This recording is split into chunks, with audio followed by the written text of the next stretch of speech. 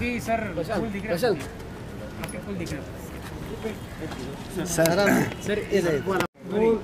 Sir मुझे, कुछ बोलना नहीं लेकिन आज मैं सुन लूँगा आपकी। सर नागपुर में एक जगह पर बात करते हुए आपने कहा कि जेल में आप पर दबाव बनाया गया था किसी पार्टी में जाने के लिए। वो क्या बात थी सर? थोड़ा समझाइए क्योंकि कई सारी चीज़ें सामने आ रही आपसे कांटेक्ट किया गया? क्या था पूरा बताइए सर?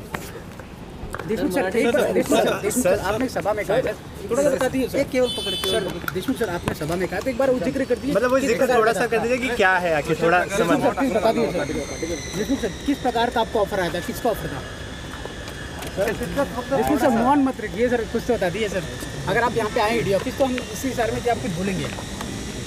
किस प्रकार का ऑफ़र था सर? किसने दिया? आपको? वो ऑफ़र क्या था? जेल के अंदर। बाबा धीरे धीरे चलते रहो आगे। सर सर कुछ सर सर सर एक जेल में क्या कुछ होता है? भाई कहाँ रखा था आपको जेल में? सर आपने कहा था कि कसाब के सेल में आपको रखा था। हाँ वो तो है। जी बताइए ना सर। सर सर कहिए एक मिनट थमा हाँ हाँ सर। बताइए।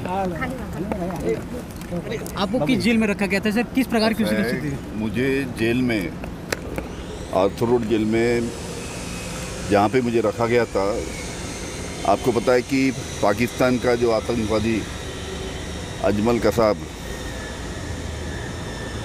उसको जिस बिल्डिंग में रखा था उसी बिल्डिंग में मुझे भी रखा गया था। सर लेकिन आपको किसी प्रकार का ऑफ़र नहीं था? ह्यूमिलिएट करने की प्लानिंग थी कि क्या थी डाला ना एक होता इंतज़ार था एक सेकंड एक सर बैठ बैठ के एक एक सेकंड एक सेकंड मतलब एक मिनट मेरे को? हे अरुणो. असं आहे की मला जेव्हा आर्थर रोड जेलमध्ये ठेवण्यात आलं होतं त्या जेलमध्ये पाकिस्तानचा आतंकवादी ज्यांनी मुंबईवर आतंकवादी हमला केला होता असा अजमल कसाब याला ज्या बिल्डिंगमध्ये ठेवण्यात आलं होतं त्याच बिल्डिंगमध्ये मला पण ठेवण्यात आलं होतं.